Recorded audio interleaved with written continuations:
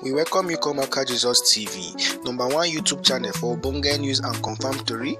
Please subscribe to our YouTube channel and follow us on Facebook and Instagram at Aka Jesus TV and Twitter at Aka Jesus 4. Hello friends, welcome again to my YouTube channel. I fed IPOB members so they cannot attack me abroad.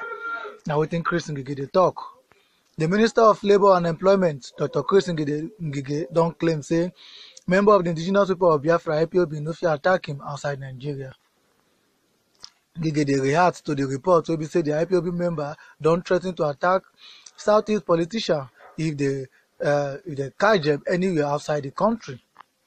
Speaking in Obosi, Anambra State, he come reveal say he think say the group no go attack him. He come say that I knew say I know say I don fe- I don feed them and I also protect them when I dey office as the governor of the state at Anambra State.